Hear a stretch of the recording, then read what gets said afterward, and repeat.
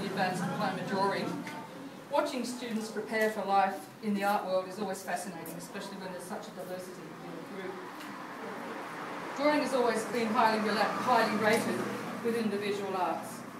From the Renaissance to the end of the 19th century, drawing was regarded as a fairly conservative medium, rarely the subject of innovation. It was seen as a first step to support other areas of art practice such as painting, sculpture and architecture. And of course it's still used for that purpose today.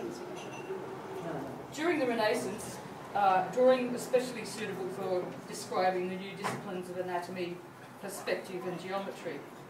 The 17th century saw the emergence of the collector.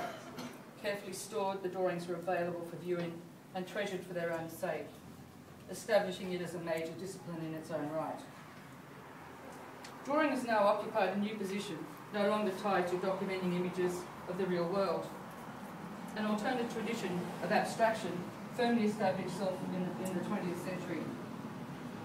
From the 1950s to the present, there has been an enormous explosion, graphic explosion, unlike any other period in art history.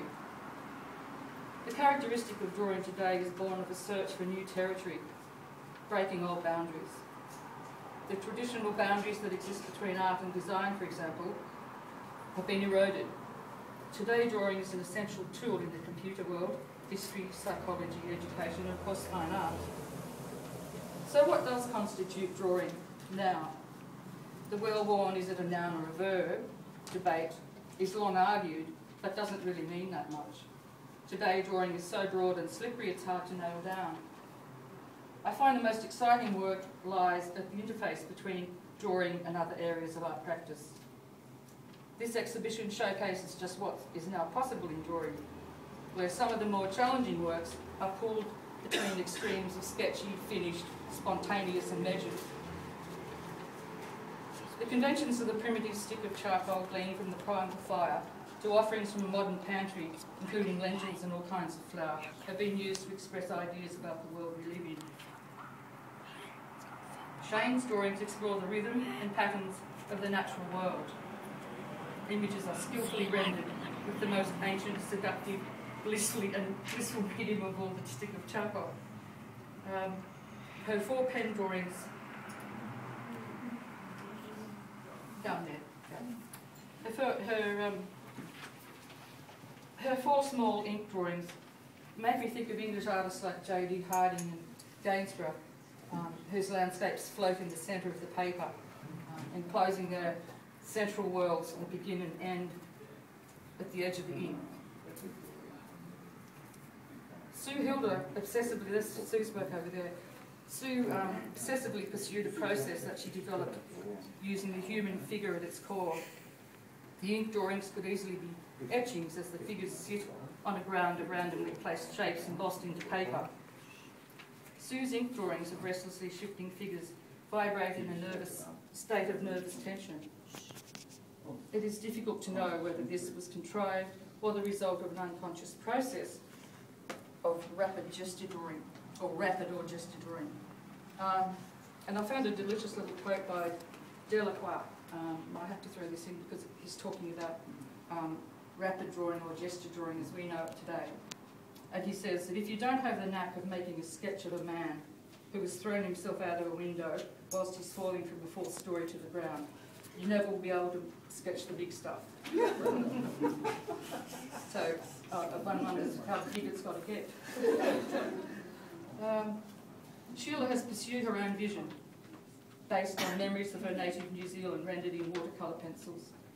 There is a haze in those drawings that immediately reference a kind of spiritual journey that becomes embedded in the very nature of the landscape itself. Sheila's second series sees her as an astute observer of the everyday, a social documenter uh, with her series, the um, harness racing, racing um, work. Gina's personal journey this year has been a pleasure to watch. She has asked her paper to soak up large amounts of ink in pursuit of imagery that pulls and pushes between representation and abstraction. Her final series, Small Vessel Works, are a triumph. They share the belief that the smallest hand gesture can be loaded with profound significance and meaning. They are reminiscent of Claude Lorrain's drawings um, in their economy of line and mark. I don't, it's, I'm getting to the end. Sky um, exploited Sky, um, just there, exploited a set of um, personal images gleaned from the world of craft. This is a daring game to play, especially in view of the domestic scale she's chosen to work with. She's made a cheek, cheeky homage to the old adages in vinyl wallpaper. These works throw out artistic challenges as they hover nervously between art and craft. Sky's use of text places the works within the genre begun by Cubism, Dada and conceptual art. The fusion of art and text in contemporary practice is multifaceted. We can enjoy the humour as we laugh with recognition.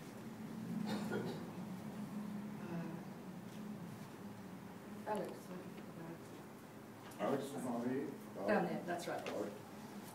Absorption and introspection um, drive the drawings of Alex. Her skill in rendering her wildlife drawings is unquestioned and goes beyond mere illustrations. As Maisie Turner suggested, these works have echoes of political imagery and endangered species. A particularly uneasy drawing for me is the one of her pet snake called Jeffrey, um, who, who is much loved. I think they'd rather cuddle a uh, polar bear or something. Snakes in the visual arts have long been associated with all manner of rituals known to mankind since Adam and Eve. Maybe there's a, an exciting series lurking in the snake skin somewhere. Sophie began the year cautiously as she searched for her own voice in a crowd of many. Her drawings evolved and matured, and at the end of that process, she's given us a gift of fresh and original drawings.